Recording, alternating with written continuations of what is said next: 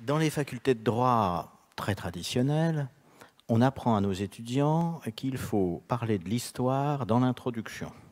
Et c'est généralement euh, la source d'un terrible échec parce que du coup, évidemment, on ne tire pas les leçons de l'histoire.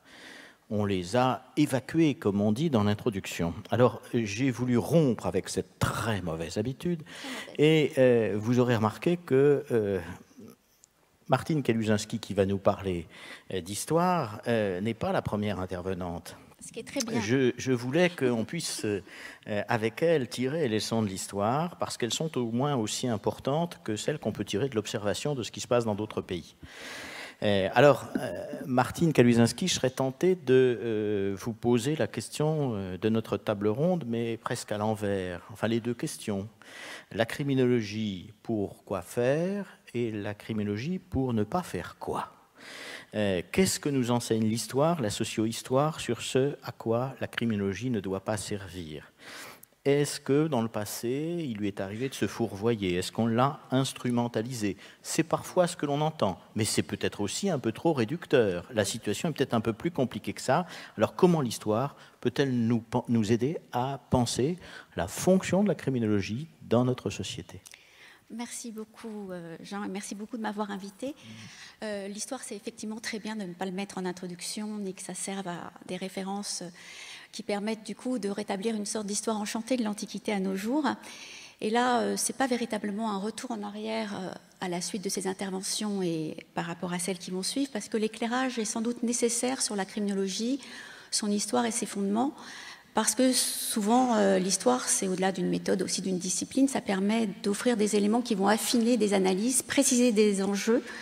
Et euh, l'histoire a totalement vocation à contribuer au débat contemporain sur la criminologie, mais derrière les questions, c'est celle de la délinquance, du crime et de la sécurité, qui sont des enjeux politiques assez forts. Donc moi, ce que je voulais faire ici, c'est présenter quand même très rapidement, et vraiment, je vais aller un peu à la Cosaque de façon très lapidaire, et très schématique sur euh, revenir sur cette histoire de la criminologie parce que vous allez voir que dans ses racines et par rapport à ce que révèle cette mémoire, c'est particulièrement riche et éclairant par rapport aux, enjeux contemporains et aux questions qu'on peut se poser, surtout quand cette histoire, parfois, et dans sa part sombre, peut être réactivée. Euh, et donc, euh, c'est vrai que cette histoire, elle commence au XIXe siècle, hein, dans les années 1880, et c'est là que le crime va se construire scientifiquement et politiquement, et c'est aussi au miroir du crime, qui devient un enjeu politique très fort, électoraliste, mais au-delà, que les États, les pouvoirs politiques et la République va se dévoiler dans son action beaucoup plus complexe et originale qu'on ne pouvait l'attendre. Alors, comme en est la criminologie Il y a beaucoup de savoirs prédiffus. On peut parler de la science des bosses, la phrénologie, euh, la science qui étudie euh, les traces du visage, la physionomonie. Il y a beaucoup de précurseurs légitimes, mais celui à qui on doit d'être le père de la criminologie scientifique, ou plutôt à son origine, c'est l'anthropologie criminelle, c'est César Lombroso qui fait émerger cette idée de, l'homme criminel. Alors Lombroso, celui dont on garde une vision peut-être un peu caricaturale ou outrancière, c'est l'homme du criminel né. Euh, c'est sûr qu'il va avoir recours à la théorie de l'évolution, donc euh, inspirée par Darwin, c'est-à-dire la théorie de sélection euh, naturelle et de l'évolution, pour dire, je vais très rapidement, en gros, que les criminels seraient des individus restés en arrière dans l'évolution, qui ne vont pas jusqu'au terme qui mène à l'humanité sorte d'animaux euh, sauvages, comme il écrit, criminels nés et déterminés à le rester. Alors, un des héritages le plus redoutables de Lombroso, c'est de se dire que les criminels constitueraient une véritable race à part, avec des stigmates de structure précis, physiques, biologiques, qui en constitueraient la marque instinctive et indélébile, ce qui est un des traits cardinaux du racisme. Mais il faut sortir de notre vision et donc de se dire s'il y a instrumentalisation ou que Lombroso était raciste. C'est un homme du 19e siècle, il est juif, socialiste, un personnage complexe. Par ailleurs, il, donc il tâtonne, il balbutie, il fait avec les instruments de, son temps. Et par ailleurs, il a une pensée pénale extrêmement moderne, qui est d'adaptation des sanctions par rapport aux criminels. Il est à l'origine de cette pluridisciplinarité scientifique euh, que tout le monde réclame, puisqu'il va travailler avec un sociologue et un juriste. Et surtout, le plus révolutionnaire dans ses doctrines, c'est le déplacement de regard du crime vers le criminel. Alors que jusqu'à présent, on punissait par rapport à un acte commis, un vol, telle tension, désormais la personnalité du criminel va être au cœur d'une philosophie pénale. Alors, c'est un mouvement qui va essaimer se développer à travers euh, l'Europe, euh, la France, avec un moment de fascination, de séduction, d'engouement. Et, ça puis aussi de, critique et de controverse qui sera le, cas en France, et c'est là-dessus que je vais euh, un peu m'arrêter. Alors en France, ce mouvement se développe autour d'un médecin légiste qui s'appelle Alexandre Lacassagne à Lyon, autour d'une revue, les archives d'anthropologie criminelle. C'est extrêmement important parce que les savoirs souvent se constituent de cette manière-là, une revue, une école, une faculté, et ensuite des congrès internationaux qui pullulent dans cette période-là. Et la doctrine euh, française, elle est intéressante, elle ne rejette pas totalement le facteur biologique, mais pour elle, ce facteur n'est pas prédominant dans les explications, c'est surtout euh, la perspective sociale. Euh, cette école n'admet pas le, fatalisme d'une tare originelle qui serait celle du criminel. Elle croit que c'est la société qui fait et prépare les criminels. Euh, Lacassagne a écrit de nombreux aphorismes, je vous en donne deux. Il dit Le milieu social est le bouillon de culture de la criminalité, et plus loin, les sociétés n'ont que le criminel qu'elles méritent. Donc c'est une doctrine très très éclectique, et euh, je voudrais quand même aussi indiquer, parce que je suis historienne et politiste, l'importance du contexte. Comme je l'ai dit tout à l'heure, la criminologie, c'est quand même un savoir euh, qui euh, s'occupe des questions de crime, délinquance et sécurité. Or, euh, cette criminologie au XIXe siècle, elle apparaît dans un contexte, en tout cas pour la France, qui est économiquement, socialement et culturellement très très dense. On a au pouvoir la jeune Troisième République qui a un vrai souci d'efficacité et de légitimité, qui cherche ses marques la croissance industrielle, l'urbanisation qui déstabilise une frange importante de la population et de grandes crises économiques, avec une grande crise qui est celle des années 1880, et qui mettent euh, sur les routes euh, les, populations. Du coup, le crime, la criminalité vont être des terrains privilégiés pour refléter les inquiétudes et les peurs d'une société en mouvement. D'autant plus que ça va être relayé par la presse, qui prend son essor. Il y a des tirages de journaux qui atteignent un million euh, de tirages qu'on s'occupe d'une affaire, de faits divers, qui est totalement fasciné. Il faut voir, c'est extrêmement quand même moderne pour cette époque, que lors d'une grosse affaire, l'affaire Soleillant, le matin va mettre en place un référendum en demandant effectivement à ses lecteurs s'ils sont pour ou contre la peine de mort. Donc on voit que l'opinion publique est aussi un acteur tout à fait partie prenante dans euh, ce contexte-là. Et du coup, le sentiment d'insécurité économique et sociale réel dans ce contexte va se déplacer vers le pôle visible qui est celui du crime. Alors que donne à voir ce discours? Euh, C'est une vraie science sociale. C'est vrai que moi j'ai toujours dit qu'en quelque sorte peut-être en France la criminologie avait une sorte d'institutionnalisation ratée en euh, s'adossant ensuite euh, enseignée par les facultés de droit parce que pas du tout en portant un jugement de valeur, mais ça avait réduit, restreint ce qu'était la criminologie à son origine, c'est-à-dire une vraie science sociale. En parlant du criminel, elle parle de l'homme avant tout. Il y a vraiment une sorte de mystère, d'abord sur le passage à l'acte, mais aussi qu'est-ce qu'est l'homme. Hein. On est au XIXe siècle, hein. c'est le début de la médecine, les théories pasteuriennes sont, par là, mais il y a une, un véritable, inconnue. Donc il y a beaucoup d'écrits, peu de choses sur le crime, beaucoup de choses sur le criminel. Euh, qui est découpé, enfin, décortiqué, euh, mesuré de toutes parts. On croit beaucoup, évidemment, la fascination du chiffre, beaucoup de méthodes anthropométriques. Il y a beaucoup d'articles sur le tatouage qui ressort comme, même si on, réfute le facteur biologique comme une sorte d'élément patrimoine de la corporation criminelle, même si à cette époque, par exemple, on voit en Angleterre que euh, l'aristocratie euh, anglaise se fait tatouer, donc euh, du coup, et l'originalité se retrouve à, travers des écrits sur le fou, la femme ou l'enfant criminel, comme si la nature, le sexe ou l'âge étaient des éléments déterminants à la compréhension euh, de ce qui ferait effectivement euh, cette construction de, euh, de, criminels. Alors c'est un discours profondément du coup idéologique malgré le tuteur scientifique qui se donne. Et c'est aussi, donc ce sur quoi je voudrais insister, vraiment un savoir politique. C'est-à-dire que, épaulé par sa revue, porté par des hommes qui se disent experts, donc médecins légistes, très peu de juristes, les juristes sont du côté de la Société générale des prisons, structuré par des congrès internationaux, donc on a une circulation des idées et des savoirs, euh, on va voir que euh, euh, cette criminologie va essayer de recenser l'ensemble des facteurs et des causes de criminalité. Et surtout, on va retrouver trois figures au, cœur de ce discours qui vont être l'objet de politiques pénales extrêmement structurantes, l'enfant délinquant, le récidiviste et le nomade. Ces trois figures, elles vont expérimenter des dynamiques majeures pour les politiques pénales et criminelles pérennes jusqu'à aujourd'hui, euh, la prévention, la répression et la notion d'identification qui apparaît à ce moment-là. Si je peux en dire quelques mots, mais je crois, euh, l'enfance délinquante, elle est au cœur de la production criminologique.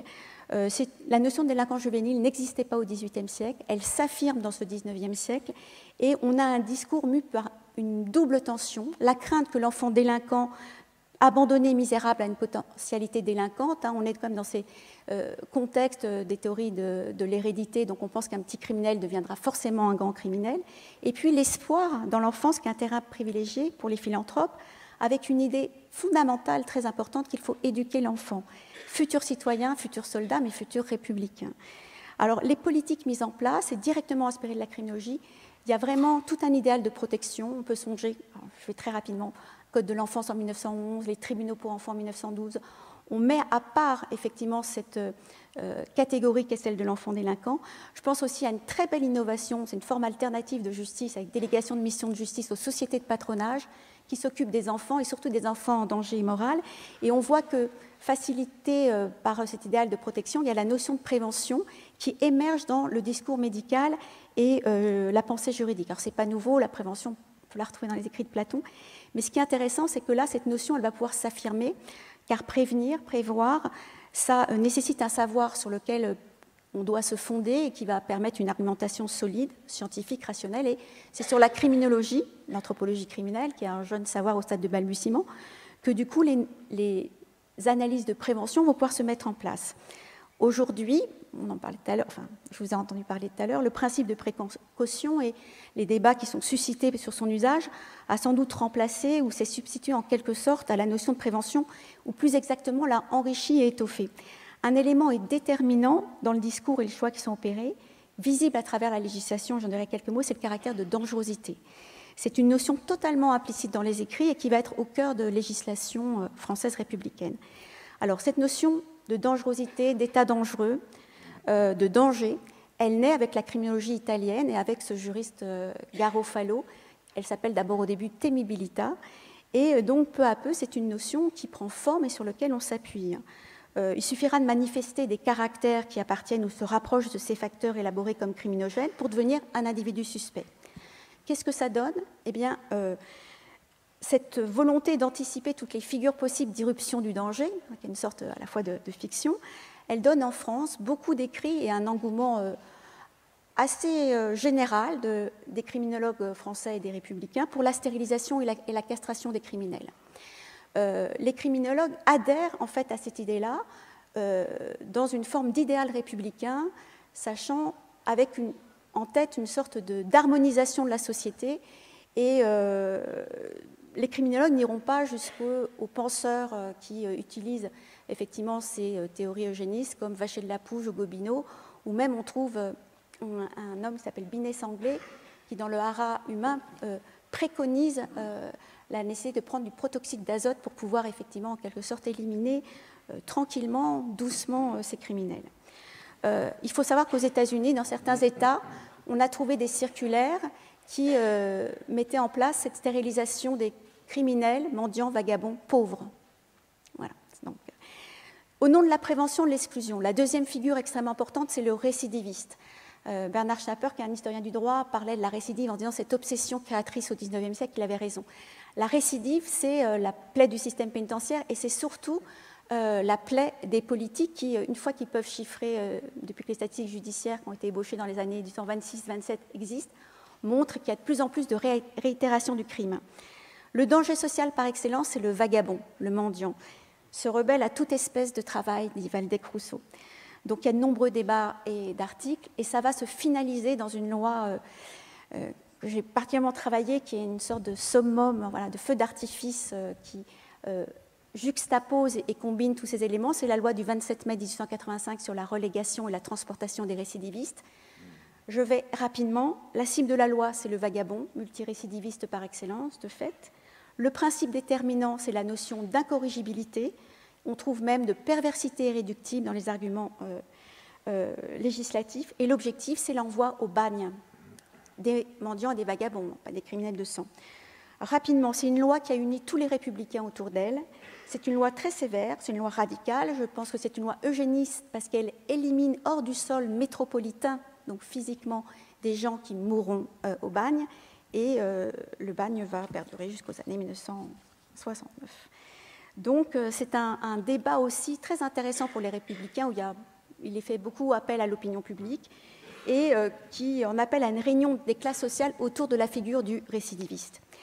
Alors, un petit point à côté, pour que la législation elle soit efficace, on est aussi dans un moment où la philosophie pénale a changé et on va être plus clément envers des délinquants primaires si on n'a commis qu'un seul crime et au contraire aggraver le jeu des pénalités pour les récidivistes. Ça reste encore tout à fait d'actualité.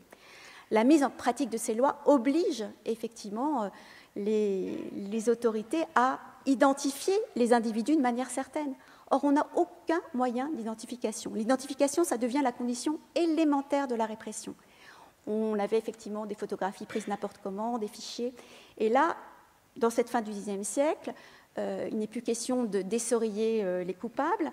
La loi du 31 août 1832 a aboli la marque au fer rouge, hein, sachant que les révolutionnaires aussi parfois mettaient des, cocardes pour désigner. Euh, donc le système de la marque était toujours très présent.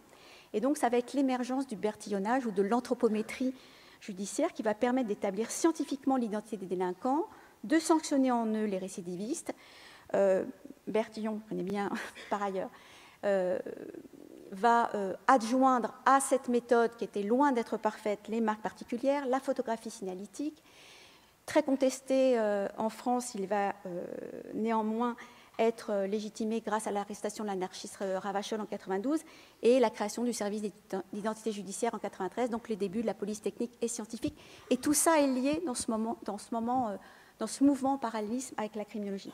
Alors, ce qui est intéressant, c'est que cette méthode va être très vite supplantée par les empreintes digitales, donc la dactyloscopie, mais néanmoins va se reconvertir. Hein, c'est quand même euh, l'atout euh, comme ça de, techniques qui aurait pu euh, comme ça péricliter en touchant la troisième figure dont j'avais parlé, qui est celle, le super vagabond par excellence, c'est le nomade, les gens du voyage, les tziganes ou les roms.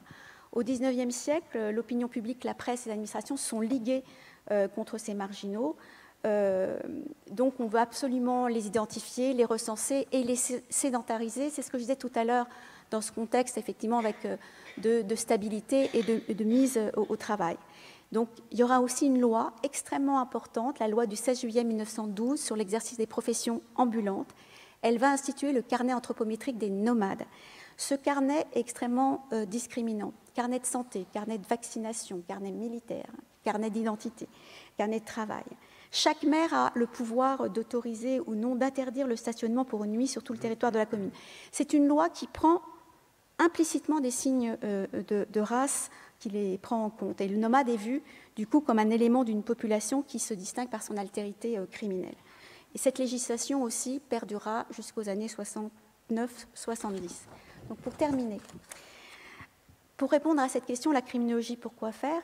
Ce qui est très intéressant, et c'est aussi un mouvement qui appartient au XIXe siècle et pas simplement en France, on est dans un moment, et c'est la dialectique focalienne de savoir au pouvoir, où l'émergence de ce savoir euh, scientifique, ou qui se dit scientifique, ou qui s'en donne les méthodes, la criminologie, euh, va épauler la décision politique dans la mesure où il donne à l'État le moyen ou l'illusion de comprendre et de pouvoir agir au mieux. Ce qui est intéressant, c'est de savoir comment euh, l'État, la République, se saisit de cette question, comment elle s'ajuste, quelles décisions, quelles mesures, quels principes ou politiques vont découler de cette combinaison où du coup la science sociale, ce qu'est la criminologie à ses débuts, devient un savoir qui fonde le politique. Euh, et on voit véritablement que depuis, on, agit toujours de cette façon-là, avec cette relation de pouvoir qui est euh, euh, nécessaire, avec corrélative d'un champ de savoir. Est-ce que la criminologie, qui est un discours et générateur de transformation, oui, on le voit dans cette période, des transformations très importantes. L'avancée de la médecine légale, tous les, débats, je pas pu en parler, autour de la responsabilité, l'irresponsabilité, l'avancée de la police scientifique, des dispositifs, euh, les sociétés de patronage sont les ancêtres des sauvegardes de l'enfance et de l'adolescence, des législations euh, pénales intensives, extrêmement fortes, mais comme euh, la Troisième République, qui a un, un, arsenal, une intensité législative très très forte. du coup, il y a un historien, Vincent Duclerc, qui travaille sur Jaurès ou la République, qui dit, dans cette période où il n'y a pas de constitution, les grandes lois de liberté publique ont euh, façonné euh, la, République. On peut penser que les grandes lois de liberté, les grandes lois pénales ont également activé cette, matrice républicaine. Et pour terminer totalement, ça me semble important, par rapport justement à ce qu'est l'histoire et ce que permet l'histoire. Euh, on a vu ces dernières années euh, différents projets qui ont émergé. Volonté de dépistage des troubles de comportement chez l'enfant, test ADN, vérifiant l'affiliation des candidats de l'immigration. Puis surtout, ce qui m'a interrogé, la, réapparition du caractère de dangerosité dans l'élaboration des lois de rétention. Ces initiatives amènent à, s'interroger sur les orientations, surtout que légiférer sur la dangerosité réactive du coup à un héritage historique dont on ne peut occulter les usages politiques qui ont été liés. Robert Banater, à ce moment-là, disait est-ce qu'on allait basculer d'une justice de liberté à une justice de sûreté. Ce que je pense, c'est que là où les hommes du 19e siècle, c'est pour ça qu'on ne peut pas euh, crier euh, au haro sur Lombroso ou d'autres hommes, sauf certains qui avaient vraiment des pensées, euh, des théories raciales extrêmement opposées, ces hommes-là avaient pour eux l'innocence scientifique, le balbutiement des découvreurs, mais les hommes du 21e siècle, en plus sachant parfois les précédents dramatiques qu'ont donné les effets pervers de ces théories, ne peuvent ancrer dans la loi des éléments dont on sait qu'ils pourraient être détournés de leur projet originel. Donc au vu de cette histoire, et par rapport à cette question, on peut se demander légitimement ce que pourrait être, devait être la criminologie aujourd'hui. Donc on sait que c'est un savoir expert au cœur des, politiques pénales. Euh, l'expertise dont on sait que quand elle est trop souvent sollicitée, c'est Michael Pollack, qui est sociologue, disait que parfois ça peut être le signe d'un pouvoir central qui est faible, qui s'appuie trop. Euh, du coup, peut-être on pourrait envisager la criminologie, ça rejoindrait ce que disait peut-être Alain tout à l'heure, comme garde-fou, conscience éthique qui médiatiserait les rapports entre prévention et répression et accompagnerait, sans l'instrumentaliser, en justice euh, les, les politiques. Merci.